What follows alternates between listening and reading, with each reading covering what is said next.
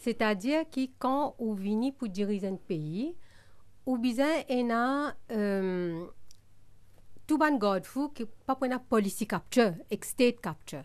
C'est ce qui à chaque peut dire. Ban ce qui a pouvoir, peu importe qui pouvoir, et n'importe quoi de ça, comme on pourrait dire là, il n'est pas une question de couleur de peau, ban qui a pouvoir, je peux toujours une tendance retenir le pouvoir.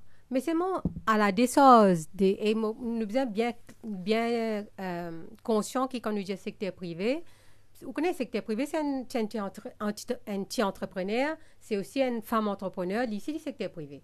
Mais nous, nous, nous connaissons dans Maurice, nous servions à ce secteur privé le là, dans à- le, à nous dire les gros le- capital. le gros Gros capital. Les Mais oligarques. voilà, mais je pense que justement nous tenons l'opportunité?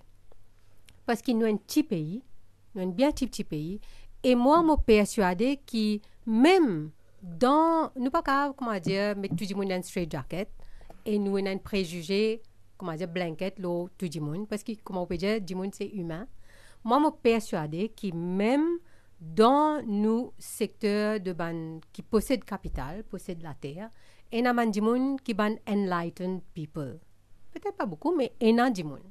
Parce qu'ils m'ont pensé, je, si je et, li- et c'est là que le pouvoir de la politique, dans le sens noble du terme, important pour influence direction qu'un pays prend.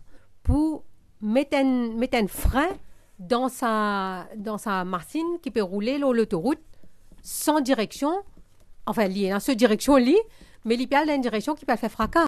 Pour plus de vidéos, cliquez sur like, abonnez-vous en cliquant sur subscribe et activez la cloche de notification pour rester informé.